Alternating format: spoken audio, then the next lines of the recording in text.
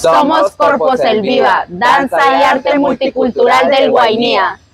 Hola, mi nombre es Cristian Pereira, tengo 25 años de edad. Soy egresado de la institución educativa Luis Carlos Galán Sarmiento. Tengo un técnico como auxiliar de laboratorios y una competencia laboral en danzas y partida por el SENA. En este momento seré el coordinador de este hermoso proyecto y soy de Iniría Guainía. Hola, mi nombre es Natalia Vanessa Rojas Osorio, tengo 26 años de edad, estudio estética y belleza en Villavicencio Meta.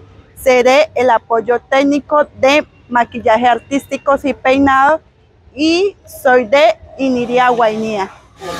Hola, mi nombre es Novelis Ladino, tengo 18 años de edad y soy bachiller egresada del Colegio La Primavera y seré el apoyo logístico de esta propuesta y soy de Iniria Guainía.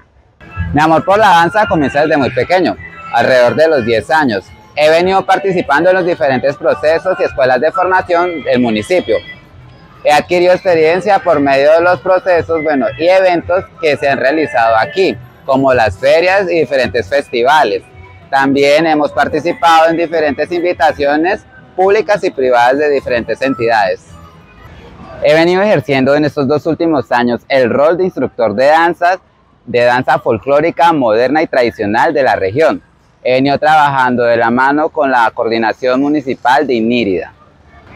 Hemos participado en las diferentes convocatorias de concertación del Ministerio de Cultura. Aparte de esto, hemos participado en aperturas y cierres del Festival de Verano y el festival como el Encuentro de Culturas, en este caso las ferias. Yo desde pequeña he sentido atracción por la danza. Me gusta mucho el baile y en esos momentos llevo tres años asistiendo a danzas. Me formé en la Escuela de Danzas Selva Viva de acá de la región de Inírida.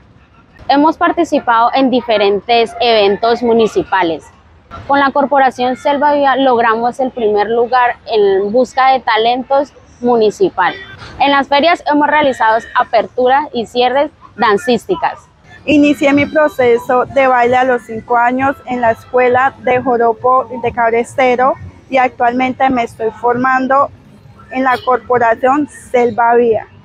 Vimos como necesidad crear y fomentar espacios formativos en danzas, donde sean partícipes grandes, jóvenes y pequeños de forma gratuita, en los diferentes talleres que iremos impartiendo en este hermoso proyecto.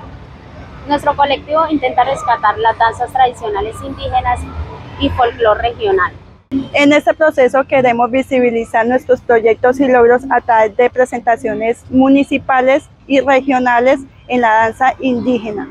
Gracias Ministerio de Cultura por esta oportunidad convocatoria Jóvenes por el Cambio 2024. Chao.